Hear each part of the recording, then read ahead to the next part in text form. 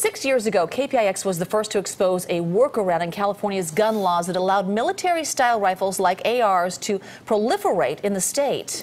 But the laws changed, and now those guns are considered assault weapons that have to be registered. Only on five, a deadline is fast approaching, and the registration process appears to have hit some roadblocks. This is a firearm that has been kicked back three times in the application process. Jay Jacobson's a gun manufacturer, so he knows his firearms. Yet his attempt to register some personal rifles on the California state website has him stumped. I believe they're maybe calling this a telescoping stock. It is a fixed stock. Other than that, I can't figure out why they have not allowed this to go through, and what's frustrating is they don't bother to tell you. Meanwhile, the deadline is looming. Under a new California law, all semi automatic rifles with a feature called a bullet button have to be registered by June 30th. It's a release mechanism that was designed as a workaround to the state's assault weapons ban, which forbids detachable magazines. Since the bullet button requires a tool, usually the tip of a bullet, to release the magazine, it was considered fixed and therefore legal.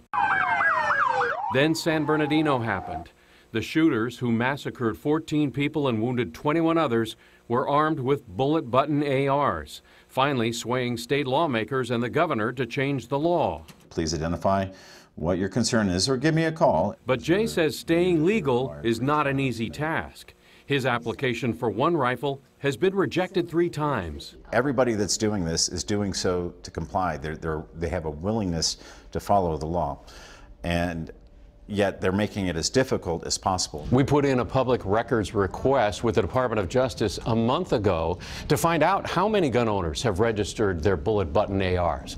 Still no response. A spokesperson told us on the phone that no information would be released until after the July 1st deadline passes. They don't know. Plain and simple. Travis Morgan owns Guns, Fishing, and Other Stuff, a gun store and shooting range in Vacaville. He says many customers who own bullet button guns aren't even trying to register them. There's too much of a drawback to it. I have been told in the regulations that if you register your gun as an assault weapon, DOJ has the right to search your house at any point in time they feel like it. I don't want them in my house. Instead, he says he and most of his customers are going featureless. If you take off certain features like a collapsible stock, a pistol grip, and a flash suppressor, a gun with a detachable magazine is no longer considered an assault weapon. They're all workarounds some, of some sort. Travis showed us several new California legal models that are now for sale in his store. Basically, Baker's choice. What do you want? It's amazing uh, the creativity and ways they find around our definitions and laws. As legislative advocate for the Brady campaign to prevent gun violence, Amanda Wilcox was instrumental in passing the new gun registration law. We've passed and updated our assault weapons law now four times. We've never confiscated the weapons.